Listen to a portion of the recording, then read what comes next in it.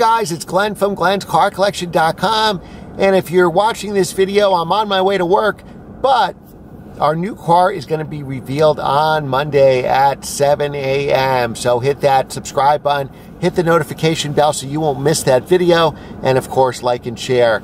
Now, uh, go back and watch the videos we just did in the last week or so, the Should, should I Buy videos. Uh, in no particular order, we did the McLaren 570S, the Evora 400, the Shelby GT350 Mustang, and the uh, M2 competition. So those were certainly four cars that I really considered.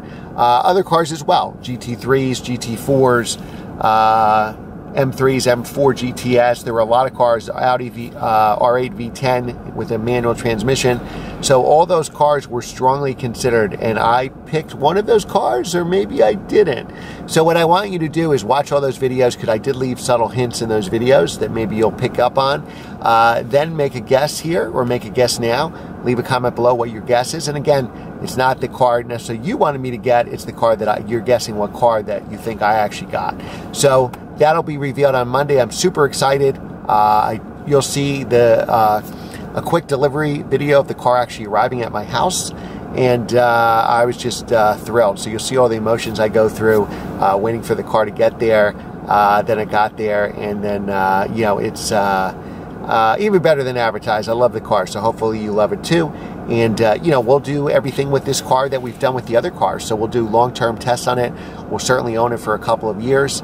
Uh, you know, we'll see reliability, what it costs to maintain, uh, you know, what it's worth now, what it'll be worth uh, two years from now. So we'll do regular long term tests like I do in all my cars, like this Audi S8 or the uh, the BMW 1 Series M, the NSX, and so on and so on. So uh, make sure to hit the subscribe button hit the notification bell, and you will see the car on Monday. Thanks again for watching, guys. Remember, browse the channel. You got some, want to do something until Monday? Watch all those Should I Buy It videos, and we have 500 car reviews on the channel, the most of any YouTube channel. So go through every one of those cars. And what makes our YouTube channel different is I've actually owned all those cars, so I'm not just driving a car for 20 minutes or a press car for a couple of days or a couple of hours.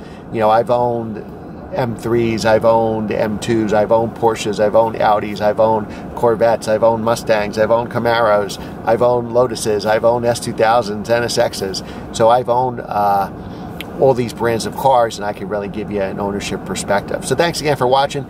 Be sure to leave your comment below what you think I got, and that will be revealed on Monday. Thanks again, and have a great weekend.